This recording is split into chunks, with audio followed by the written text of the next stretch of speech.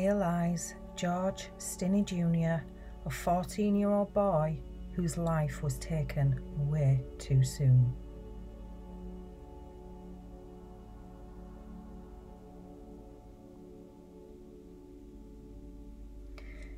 Meet 14 year old George Stinney Jr. He is the son of George Sr. and Amy, brother to 17 year old John, 12 year old Charles, 10 year old Catherine, and 7 year old Amy. The seven of them lived together in a house in Alcolu, South Carolina.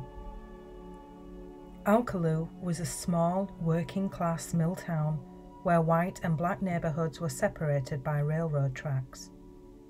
The town was so separated that the children went to segregated schools and everyone attended segregated churches. In March of 1944, 11 year old Betty June Binnicker and 7 year old Mary Emma Thames set out to find maypops. Now, what happened next varies. One version says that the girls were out on their bikes and as they passed the Stinney home, they asked George and his sister Amy if they knew where to find maypops.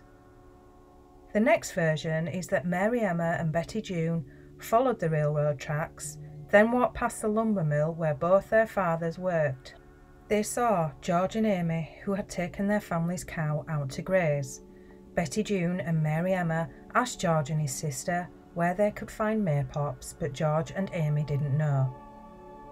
The last version is that Betty June and Mary Emma stopped at the house of a prominent white family to see if the wife of a lumber mill boss would go with them to find maypops.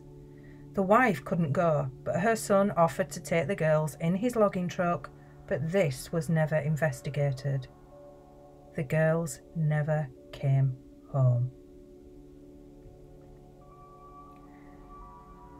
Betty June Binnicker and Mary Emma Thames were found the next day lifeless in a ditch in the woods. Both had suffered head injuries, with one report suggesting the injuries could have been sustained by the use of a hammer. That afternoon, only George, Amy, and their brother Johnny were at home when two black cars pulled up to their house. Amy, who was playing outside at the time, watched two men walk into the house. Moments later, she watched as her two brothers were led away in handcuffs. Before George was put into one of the cars, he managed to shout to Amy to get their brother, sister, and mother. News spread fast, and that night, George Sr. lost his job at the lumber mill. Then they got word a lynch mob were coming for them, so the Stinney family had to leave.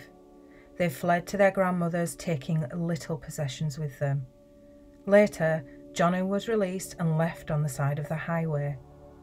But the Stinney family's nightmare had only just begun. George was questioned by the police alone and without an attorney. Shortly after, Clarendon Deputy Sheriff H.S. Newman talked to the media, telling them that within 40 minutes of being arrested, George had confessed. Deputy Sheriff Newman told the media that George had fatally struck the girls after they resisted his sexual advances. When they threatened to tell their parents, George picked up a foot long railroad trestle spike and attacked the younger girl first, bashing her several times on the head before turning his weapon on the other. Deputy Sheriff Newman also said that George led officers to the spot in the woods where he had hidden the spike. Just 31 days after his arrest, George's trial began. Sadly, his parents couldn't be there through fear of a white mob showing up. They hadn't been able to see him since he had been arrested. The trial took just under three hours, and the jury took just 10 minutes to find 14 year old George Stinney Jr. guilty. Judge P. H. Stoll immediately handed down the sentence of death by execution. As execution day loomed, the governor was inundated with hundreds of letters begging for mercy on George's behalf, coming from all over the state and across the country. People tried everything they could, even trying to appeal to the governor's sense of fairness and justice by telling him about a similar case involving a 16 year old in Parris Island. Ernest Feltwell Jr. had pled guilty to the murder of 8 year old Diane Tatton in 1943. Ernest had tried to rape the little girl, and when she screamed, he admitted to covering her mouth with his hand until her body went limp. Ernest had all the help he could get and received a sentence of 20 years. Despite the public's help, the sentence of death for George still stood.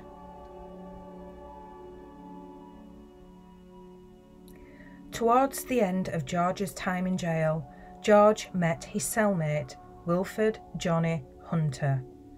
Over George's last three days, George would talk to Johnny, sing songs, and play hide and seek in the bunks. On George's last day, he said to Johnny, Johnny, why do they want to kill me for something I didn't do? Why? At that point, they heard footsteps. They hugged each other, and George whispered, Bye. On 16th of June 1944 at 7:25 p.m., George Stinney Jr. was led to the execution room. George's father was allowed to see him one last time, and at 7:30 p.m., 14-year-old George Stinney Jr. was executed and was declared dead 8 minutes later. And on the 17th of June 1944, George's family buried their son and brother.